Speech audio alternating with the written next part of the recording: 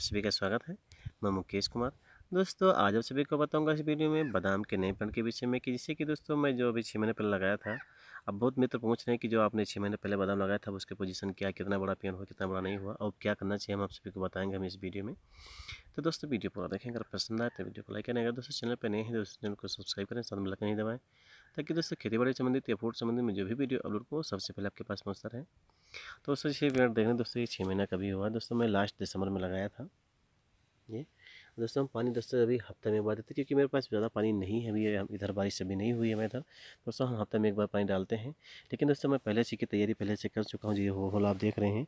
लगभग एक डेढ़ मीटर लगभग चौड़ा है ये, लगभग डेढ़ मीटर लगभग गहरा है ये। तो हम इसमें पहले से पाँच और पानी पहले से मैं फुल किया था, इसमें तरी बनी हुई तो कोई दिक्कत नहीं है। लेकिन पानी की जो बात रहेगी दोस्तों पानी बादाम के लिए ज़्यादा नहीं चाहिए।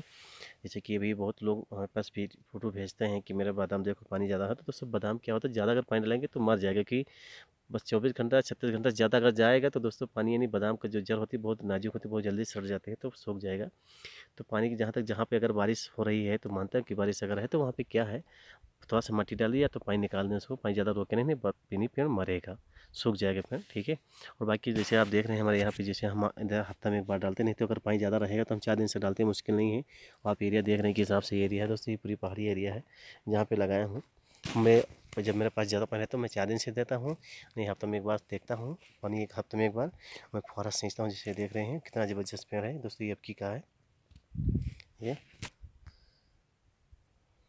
इसी प्रकार से बहुत सारा है। मेरे पास पेड़ लगाए हुए जो भी है, ये। और इधर भी है। वैसे मैं लाइन से सब लगाया हूँ पेड़ दोस्तों ये भी छः महीने का हुआ दोस्तों मैं लास्ट दिसंबर में लगाया था। दोस्तों पेड़ बहुत ज़बरदस्त हो रहा है। बस रहेगी बात पानी की, अगर पानी है तो चार दिन से लगाएँ। अगर जैसे हम हम लोग किधर पानी नहीं तो हम लोग चार दिन से लगाएँ। लेकिन अगर आपके पास ज़्यादा पानी हो रहा है तो उस पर थोड़ा सा होल में, जैसे जो होल है, इस पर मट्टी थोड़ा डाल दें। उसके बाद पानी बाहर निकाल दें।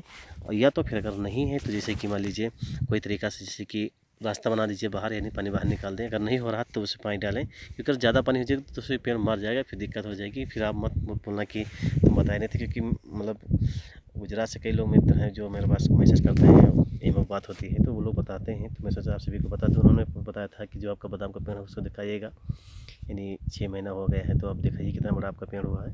तो मैं सोचा आप सभी को बता देता हूँ दोस्तों, ठीक है? दोस्तों, ये है बादाम का पेड़। और बाकी अगर जो प्रक्रिया होगी तो हम आप सभी को बताएँगे, कोई मुश्किल नहीं है। अगर आपको कुछ पूछना है तो कमेंट कर सकते हैं, मैं आपको ज़रूर रिप्लाई करूँगा, ठीक है दोस्तों? तो आज के लिए इतना ही। और मेरा वीडियो कैसा लगा, मुझे बताएँ। आप सभी को फिर मिलूँगा नेक्स्ट वीडियो में।